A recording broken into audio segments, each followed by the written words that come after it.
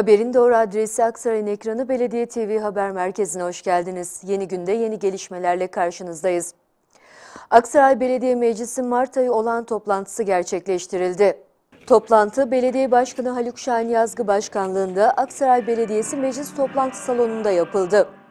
Saygı duruşu ve İstiklal Marşı'nın okunmasıyla başlayan toplantıda bir önceki alınan kararların özetleri okunurken toplantı 16 gündem maddesinden oluştu.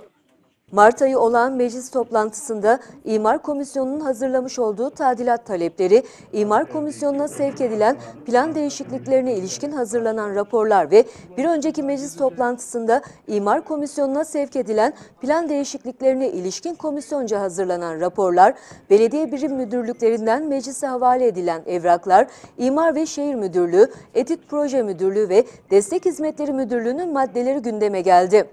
Toplantı dilek ve temennilerle sona erdi. Eski Tarım ve Köy İşleri Bakanı Sami Güçlü'nün bir grup üniversite öğrencisiyle başlattığı Milli Eğitim Bakanlığı tarafından yürütülen Anadolu Mektebi Yazar Okumaları Projesi kapsamında 2018 yılını Cengiz Aytmatov yılı ilan ederek ünlü yazarı Aksaray'da ulusal bir panelle andı. Aksaray Belediyesi'nin katkılarıyla Anadolu Mektebi Yazar Okumaları Projesi kapsamında Aksaray Kültür Merkezi'nde gerçekleşen Aytmatov programına ilgi büyük oldu. Aksaray Belediyesi ve Aksaray Anadolu Mektebi İl Koordinatörü Ayşe Karaman'ın özverili çalışmalarıyla gerçekleştirilen programda okuma grubu panelist öğrencileri Gizem Şen, Rümeysa Akkurt, Rana Sarı ve Yusuf Ünlü, Kırgız yazar Cengiz Aytmatov'un hayatından eserlerini geniş bir açıdan dinleyicilerin beğenisine sundu. İnsanı var eden şeydir iyilik. Tıpkı tohumun içerisindeki öz gibi. İnsanoğlunu kıymetli kılan değerlerin başında gelmektedir. İyilik, bütün güzel duyguların annesi gibidir.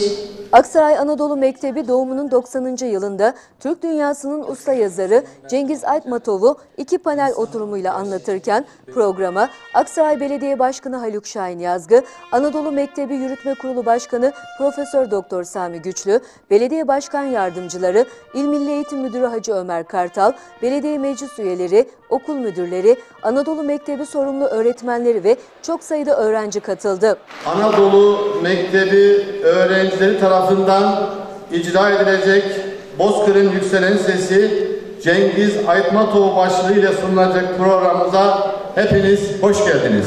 Belediye Başkanı Haluk Şahin Yazgı, kültür buluşmasında Anadolu Mektebi'ne düzenledikleri program nedeniyle teşekkür etti. Burada panelistlerimizin yapmış olduğu sunumlar, bir yazarın bütün eserlerini derinlemeleri, derinlemesine anlatmaları bizi gerçekten de mutlu ediyor, gururlandırıyor. Ama şunun da farkındayım Sayın Bakanım, gelecek kızlarımızın elinde. Kızlarımıza özel bir alkış istiyorum. Şimdi öbür programda da farkındayım hep kızlarımız önde. Yani değil mi Sayın Müdürüm? Hep kızlarımız ön tarafa çıkıyor. Hep onlar sunumlarını yapıyor. Çok da güzel ifade ediyorlar. Burada da panelimizde Allah'tan sen varsın ki bizi kurtardın erkekler olarak. Ee, dolayısıyla ben e, kızlarımıza teşekkür ediyorum. Onlar okumayı çok seviyorlar. Onlar aslında geleceğimizi şekillendirecek çocuklarımızın ileride anneleri. Sizler anneler olacaksınız. Eğitimin ilki evde başlar.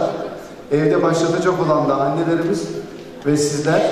Sizler çok güzel yetişiyorsunuz ve ilerideki çocuklarınızı da ona göre yetiştireceksiniz. Bir kere bu konuda çok önemli. İkincisi ileride vali, belediye başkanı ben inanıyorum ki Sayın Bakanım kesin kızlarımızdan olacak. Çünkü erkeklerde bu kadar performans yok. Biz daha çok top oynuyoruz ya da bilardo oynuyoruz. Biraz öyle bir durumumuz var. Ee, ama bizler de sizlere destek olmaya her zaman varız. Bu konuda da e, Cengiz Aytmatov konusunda da sunumlarınızı çok beğendiğimi söylemek istiyorum. Özellikle notlar aldığım, yani aklıma aldığım notlar var ve sizlerden de kopya çekeceğim yapmış olduğunuz güzel ifadelerden. Toprakla ilgili, ondan sonra e, mankutlaşma ile ilgili o kadar güzel şeyler söylediniz ki bunlar bugün de bizim kullandığımız ve bugün de yaşantımızda gördüğümüz şeyler. Bunların bilincine varmak, bunların bilinciyle hareket etmek güzel şeyler. O nedenden dolayı sizleri bir daha canlı yürekten tebrik etmek istiyorum. Ayşe Hanım hatırlattı. Tarık Burra ile ilgili yapmış olduğumuz paneller kitaplaşıyor. Bu panellerin hepsini kitaplaştırıyoruz ki bunlar sizlerin ilk eserleri olacak aslında. Tarihe bırakacağınız bir iz olacak ve biz bu izin de kalıcı olarak e, olması daha da mutlu ediyor. Ben e, tekrar bu konuda Sayın Bakanımızın öncülüğünde gerçekleştirilen bu güzel panellerde bizleri yalnız bırakmayan ailelerimize de teşekkür ediyorum. Çünkü anne babalarınız izin vermese belki buralarda olamayasınız. Çünkü farklı illerde yapılan toplantılara da katılıyorsunuz. Ben e, daha önce de burada ta kuruluşundan beri içinde bulunan bugün e, Gülsüm var ama ondan önce birçok kardeşimiz buradaydı, bu panellerdeydi. Onlara da şöyle bir şey söylemek istiyorum. Burası bir okul. Okulda öğrencilerin öyle ben bu işi bitirdim gittim demek yok. Sizin yaptığınız gibi yapması lazım. Gelip buralarda hem yüreklendirmesi hem de destek olması lazım bizlere. İnşallah onu da yapacağınıza inanıyorum. Ben tekrar bu paneli hazırlayan bütün herkese teşekkür ediyorum. Hepinize hayırlı günler diliyorum. Anadolu Mektebi Yürütme Kurulu Başkanı Profesör Doktor Sami Güçlü, 2018 yılı içerisinde şu anda 25 ilde Cengiz Aytmatov okutulduğunu ve Nisan ayında Kastamonu'da Türk Dünyası'nın kültür başkentinde Aytmatov yılı olarak ilan edilmek suretiyle Aytmatov programlarını sürdüreceklerini söyleyerek Anadolu Mektebi Yazar Okumaları Projesi'ne ve eğitime sağladığı katkılardan dolayı Belediye Başkanı Haluk Şahin Yazgı, İl Koordinatörü Ayşe Karaman, Aksaray Anadolu Mektebi sorumlu öğretmen ve öğrencilere emeği geçen herkese teşekkür etti. Kimse ses getirmese, yazmasa, çizmese. O kadar mutlu olacak bir iş yapıyoruz ki. Bu 1500 çocuk hayatları boyunca, bunlar yeni dönem. Mustafa Kutlu okudular, Tarık Buğra okudular, Cengiz Aydın okudular. Şimdi Cengiz kim okuyorlar? Tanpınar okuyorlar. Herhalde başladı değil mi? Tanpınar okumaları. Kitap mı eksik yoksa? Yazın da Necip Fazıl. Şimdi yani böyle bir yol okumadan geçen öğrencilerimiz, ailelerine, hocalarına bu imkanı sunan e, siz e, değerli yöneticilerimize e, teşekkür ediyoruz. Ama en çok da bu okumanın zahmetine katlanıp ama gelecekte bunun faydasını çok görecek, çok büyük bir şekilde görecek olan öğrencilerimizi kutluyorum. Teşekkür ediyorum hepinize saygı. Aksaray Belediyesi kadınlara yönelik hizmet zincirinde Hamidiye Alaca Mahallesi'nde Vecihe Hatun Kadın Aktivite Merkezi'ni hizmete açtı.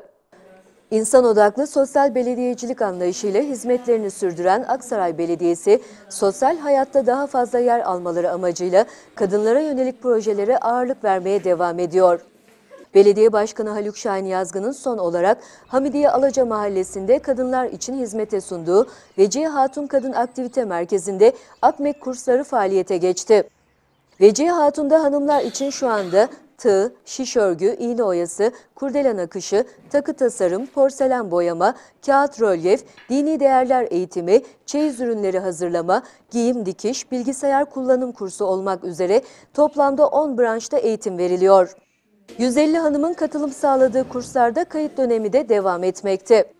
Eski belediye başkanlık binası restore edilerek bölgedeki hanımların hizmetine sunulan Vecihe Hatun Kadın Aktivite Merkezi'nde meslek edindirme ve el becerisi kursları dışında hanımlar için spor salonu ve kafeterya bölümü de bulunmakta.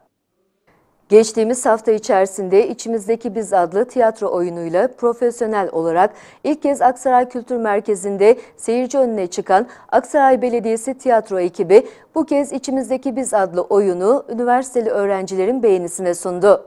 Sanatın her dalına destek veren Aksaray Belediyesi bünyesinde açtığı uygulamalı tiyatro kursuna katılan oyunculara destek olmaya devam ediyor. Tiyatro topluluğunun profesyonel olarak sahnelediği İçimizdeki Biz oyunu ilk olarak geçtiğimiz hafta Aksaray Kültür Merkezi'nde seyirci karşısına çıkmıştı.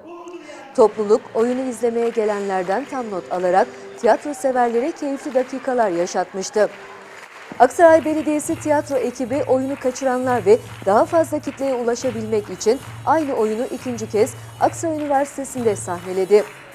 Uzun ve yoğun olarak çalışan provalar yapan ekip profesyonel biçimde oyuna hazırlanırken yönetmenliğini Polat Oğuz'un üstlendiği İçimizdeki Biz adlı oyun eleştirel bir mizahi dille bir ailenin kültüründen ve değerlerinden uzaklaşmasını anlatıyor. Oyunu Belediye Başkanı Haluk Şahin Yazgı, eşi Hasibe Yazgı, Aksaray Üniversitesi Rektör Yardımcıları Ayhan Özçiftçi, Hacı Murat Yılmaz, Belediye Başkan Yardımcıları, STK Başkanları, diğer il protokolü üyeleri ve üniversite öğrencileriyle birlikte izledi.